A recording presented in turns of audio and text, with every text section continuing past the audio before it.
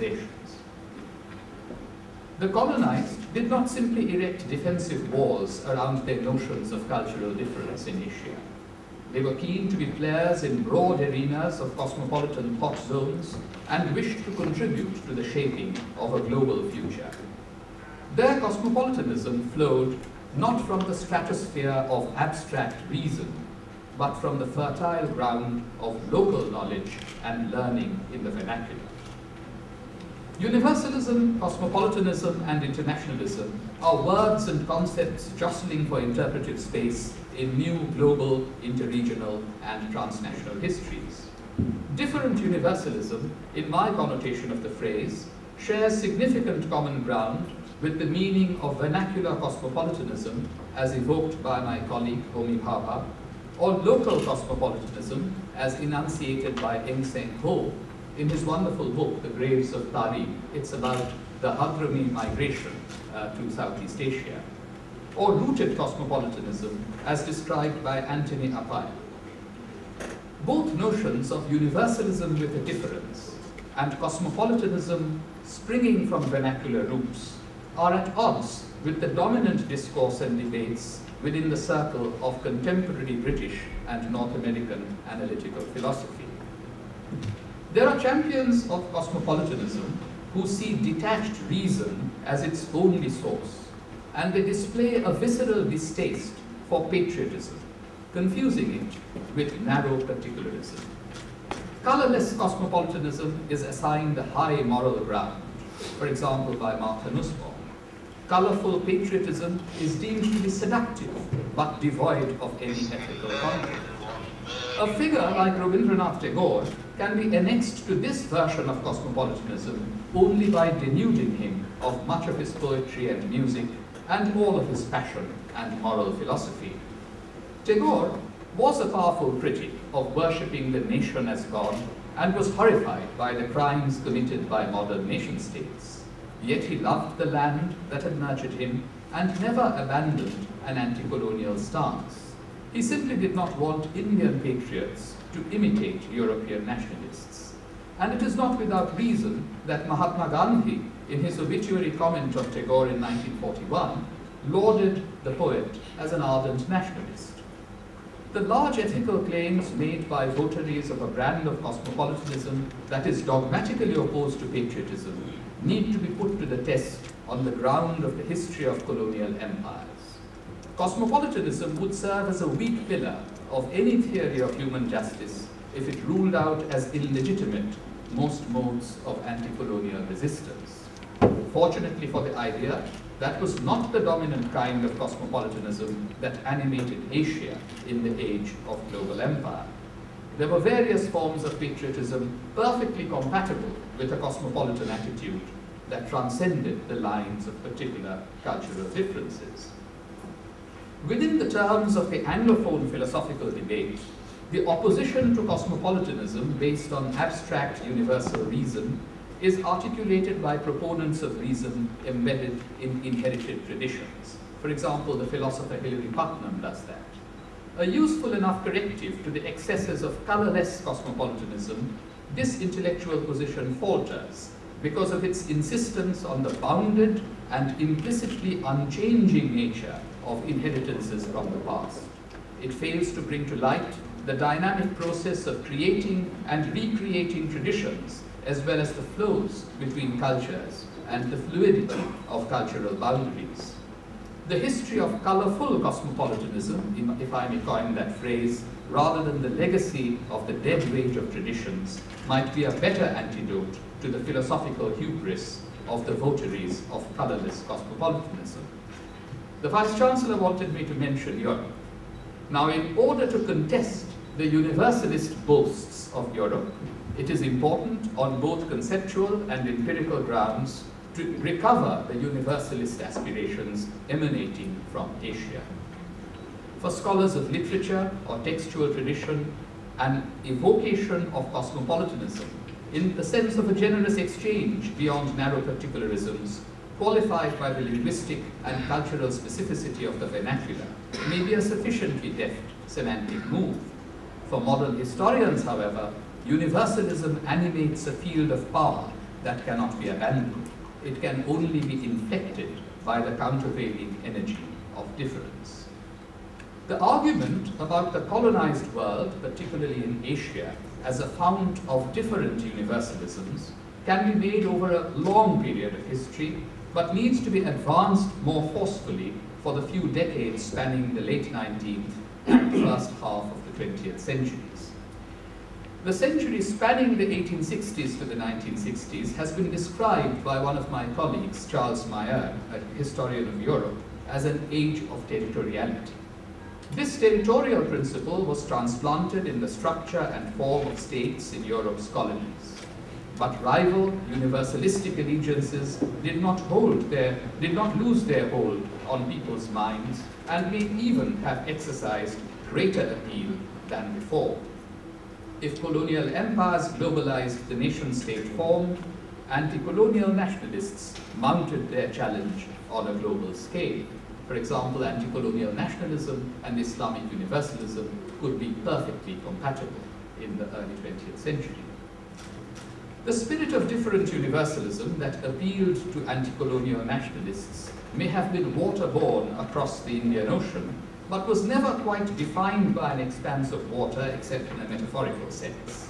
So it is best not to exaggerate the contradiction between oceans and continents that has crept into some of the scholarly literature the myth of continents has been subjected to a powerful enlightenment, for example in a book by Karen Wigen and Martin Lewis, with some justice, as a meta-geographical concept hopelessly tainted by the hubris of European imperialism.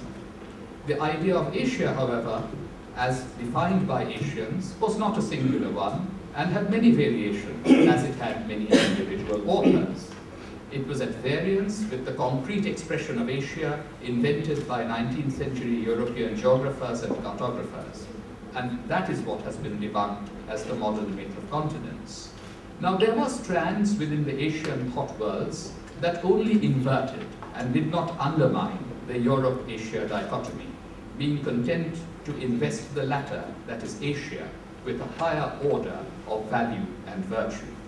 That forms a less interesting dimension of the modern tug of war between Europe and Asia. Far more fascinating was the imagination of Asia as an abstract entity transcending the imperial and national frontiers being etched by colonial powers onto the physical and mental maps of the colonized, and thereby serving as a prism to, ref to refract the light of universal humanity. The own country or Swadeshi cultural milieu of early 20th century India, despite its interest in rejuvenating indigenous traditions, was not wholly inward-looking. Its protagonists were curious about innovations in different parts of the globe and felt comfortable within ever-widening concentric circles of Bengali patriotism, Indian nationalism, and Asian universalism aspiring to reconcile a sense of nationality with a common humanity, they were not prepared to let colonial borders constrict their imaginations. The spirit of Asian universalism was brought to India by two turn-of-the-century ideologues, Okakura Kakuzo and Sister Nivedita. Okakura had been deeply influenced in his early years by the Harvard scholar of Japanese art, Ernest Francisco Fenollosa, whose collection of Japanese and Chinese paintings he later catalogued for the Boston Museum of Fine Arts. Okakura's blend of Japanese nationalism and Asian universalism was appealing as a potential model for Indian intellectuals and artists in the very early 20th century. Okakura first came to India in 1902 on the eve of the publication of his book, The Ideals of the East, for which Sister Nivedita the Irish-born disciple of the Hindu sage Swami Vivekananda wrote an introduction.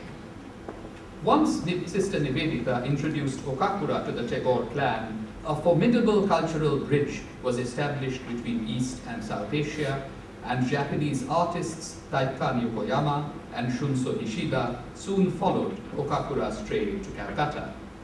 By observing Taikan, Abanindranath Tagore learned the Japanese wash technique of, his, of which his famous painting Bharat Mata, Mother India, which you see on the screen, is a prominent example. Now, this is the iconic image of Mother India, the nation as mother, but it was executed in the Japanese wash technique. The Japanese and the Chinese brush ending style was more deeply imbibed by Abanindranath's brother, Gaganendranath Tagore. And in Nandalal Bose's early masterpiece, Sati 1907, a quintessentially Indian theme of selfless womanhood emerged in the colors and contours of the Japanese wash. This is the southern veranda, a sketch of the southern veranda of the Tagore mansion in Calcutta, where Okakura met the Indian intellectuals and artists. While the First World War raged in Europe and the Middle East, Rabindranath Tagore set off on a global oceanic voyage from Calcutta on May 3, 1916, aboard the Japanese ship Tosamaru. Traveling on this easterly route for the first time in his life, Tagore made his first stop in Burma. From Burma, the Tosamaru traveled further east towards Penang, Singapore, and Hong Kong. The poet felt a sense of joy observing the strength and skill of Chinese laborers working at the port in Hong Kong and made an uncannily accurate prophecy about the future balance of power in the world. The nations which now own the world's resources, Tagore argued, fear the rise of China and wish to postpone the day of that rise. On May 29, 1916, the Tosamaru reached the Japanese port of Kobe. Tagore's three-month sojourn in Japan represented the fulfillment not just of a personal quest, but the search for an Asian universalism that had begun at the turn of the 20th century. Tagore's direct encounter with the power and scale of art in Japan during his 1916 visit led him to urge Indian artists to look east in order to pioneer a fresh departure from the Swadeshi corpus of ideas. Tagore was as impressed by the Japanese visual arts as he was unimpressed by Japan's tendency to imitate elements of European nationalistic imperialism. It was only after rebuking Japan on that count that Tagore undertook the long Pacific crossing to North America on September 7, 1916. While he was in Japan, Tagore had received an invitation to visit Vancouver. He flatly rejected it. Well aware of the Komagata Maru incident of 1914, when prospective Indian immigrants had been turned away from Vancouver Harbour, Tagore refused to travel to Canada and Australia until these dominions withdrew their discriminatory immigration policies. Ironically, the ship that took Tagore across the Pacific was named Canada Maru. Tagore disembarked in Seattle, however, and journeying down the west coast of the USA, he delivered powerful strictures against worshipping the new god called nation in Seattle, San Francisco, Los Angeles, Pasadena.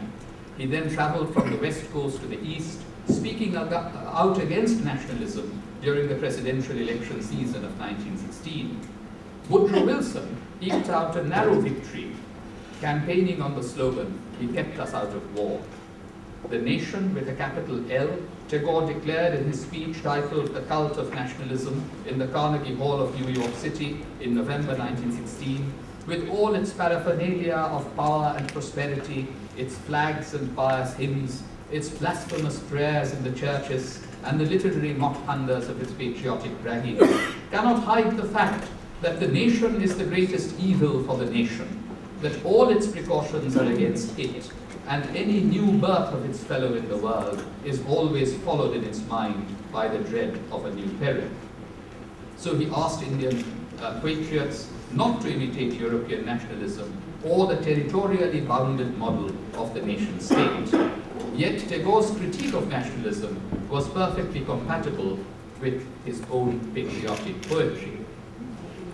Tagore's anti-nation stance in America was a cause for some concern back in India to anti-colonial nationalists. Although Tagore's book Nationalism was not published